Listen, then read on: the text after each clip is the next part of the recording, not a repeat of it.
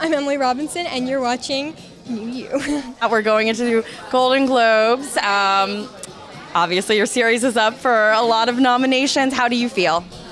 I'm so thrilled and honored to be a part of it. Um, it was fun seeing Amy, um, but no, it's incredible. Um, I'm so happy that Jill Soloway and the whole show are getting, um, you know, the acknowledgement that I, I, I, think they deserve. But you know, I'm glad other people see that.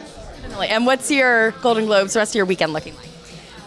Amazon, Amazon, Amazon, you know, things. Are you going to the Amazon party tomorrow? Yeah, yeah. Are you going to be going to the award show? I'm not. I'm not yeah. going to the. But you're going to the party. I'm going to the party. Like, do you have your dress picked out? I do. I do. It's like this white. I don't know. I, I don't know if I should say. I'm gonna like keep it a secret. No, it's like it's like a it's long, but it's like white and not frilly, but it, I don't know. It's like tight, but loose, and I really like it. I'm excited. I just real. You knew it was the one. Well, I just like finalized it this morning, so I was like, okay, I'm gonna do that. And so I'm, I'm, I'm happy. I'm really happy.